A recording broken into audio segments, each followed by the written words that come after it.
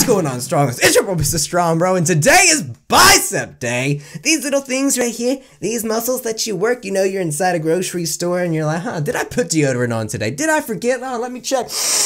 Oh, oh, oh. And then the girl that you have a crush on at the cash register, she's like, oh, I can tell he works ow, he does, he's not even flexing. And then the lady's actually six years old. Congratulations, you just attracted a 60 year old woman. Today we will be working on biceps. What we're gonna be doing is we're gonna be starting off with standard bicep curl things. You're gonna need dumbbells, heavy dumbbells, you know, somewhat medium dumbbells as well, because we're gonna be changing up the exercises. We're gonna move on to hammer curls. Yeah, it's actually been a few weeks since I recorded this video, but I, I decided to do commentary tonight because the first commentary stunk. What am I, where am I going with this video? I don't know. Third one's going to be in and outs. Basically, simple. You're looking at it on the screen. It's not really hard to figure out. Just don't sway your back or anything. You know, towards the end, it's okay to start swaying just a little bit, but not enough to where, you know, you'll start hurting yourself just to get the last one or two reps in. I think that's completely fine. But with that said, form completely means everything, so try your best to do it without all the swinging and crap please. And the last move is going to be ghetto preacher curls. You gotta do what you gotta do when you don't have a bench. In simple terms, this workout's going to be in four sets of four. You really don't need to work the biceps as much as you would work legs or triceps or the chest because they're actually smaller muscle and you may not think so because they like seem to stand out more than anything else. But to be honest, if you want to look like you have bigger arms, you need to work your triceps more. And then of course work your biceps at the same time, which will make it look a little more impressive. I promise something is there. It's just the lighting, that's why you can't see it that well. I've been rambling for 10 minutes now. I think it's time for us to get into the workouts. First move, twisting standard bicep curls. Basically, uh, the difference between these and just going straight on like this is you're actually, whenever you're going down, you seem to be working more of the bicep. You know, you look at some of these guys out there and they have like this, just a baseball arm and it looks so ugly. And it's because they don't work the full bicep. But with these, whenever you're twisting, and you know, some people say it may be easier, but the muscles were meant to incorporate and help each other. So it's not, it's really hard to just work one individual muscle because they're so used to working together. And that's really where true strength comes from is whenever the, the other muscles try to help each other, if that makes any sense. I love doing pull-ups. If you're doing pull-ups, you're actually, it's a back exercise, but you're getting the help from your arms and you're getting the help from your chest too, to try to, you know, execute the exercise perfectly without damaging the muscle. That's where true strength comes from. So this is why I prefer these Oh, that scared me. I mean, these are falling off the walls on the side. It's just these two on the side. Thank God it's not back there. But yeah, this is getting on my nerves. I really need to find some heavy duty spray stuff. Anyway, back to the workout. What, what, what am I doing? Next is going to be hammer curls. Hammer curls work the outside of the bicep. You know, these things right here. The outside of it. Which is, you know, when people look at your side profile, that's what they're going to see. So it's important to work the outside as well. And even though you did the standard, you know, twisting bicep curls at the beginning, it's still best to do this because it does target more of the muscle on the side. They will be much easier than the bicep curls, but trust me, you're gonna have to go to about 12, 12 reps with this. That seems about more feasible unless you want to go with heavier weights. That's great too. So we are halfway through the workout. We've already done eight sets. Now we got eight more to go. So yeah, this is actually a 16 set workout. It's not bad. Not bad at all.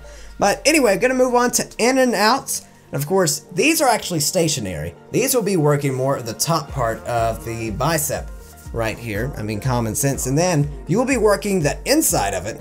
This right here, as you can see, just by twisting my arm like that, that's that's what's happening. Because you're like doing it on the outside and it'll be working more of the inside of the biceps, which gives it that beautiful, sexy uh, but putting all looks aside and everything, this is definitely going to make your biceps a lot stronger. This is just another one of those exercises that are self-explanatory. As you can see, I was kind of rocking, leaning back a little more. That was bad on my part.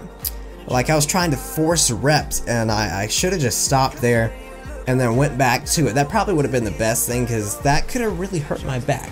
So if you're getting to like four reps and you're starting to, you know, do that, it's best to stop at that point and then just go back to it and do the rest clean. Finally, we have reached ghetto preacher curls. If you got a couch, you know what to do. You can, you know, I can obviously sit on the screen. But if for some reason you don't have a couch, what you could do is you could probably use a chair and I don't know, just do whatever you can. You can actually lean over and like get on one knee and try it like that, but that honestly kind of hurts my lower back. So I definitely don't recommend doing that. But what these do is it's almost keeping constant tension on the bicep here to where like whenever you're going all the way down, your uh, elbows fully extended, you're still keeping the tension on the top part of it. And then whenever, of course, whenever you bring it up, it's so, so much harder than just regular bicep curls, even with the 45s and 50s. As you guys can tell in the past, I'm a workout at home kind of guy. I don't really go to the gym too often, but I will, I will admit this.